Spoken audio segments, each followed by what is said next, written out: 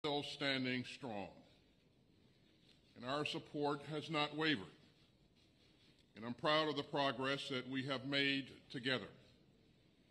In total, the members of this contact group have provided more than $55 billion in security assistance for Ukraine.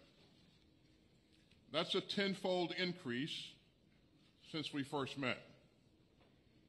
Just in the past few months, we provided the equipment and training to support an additional nine armored brigades for, for Ukraine, and that has already strengthened Ukraine's position on the battlefield.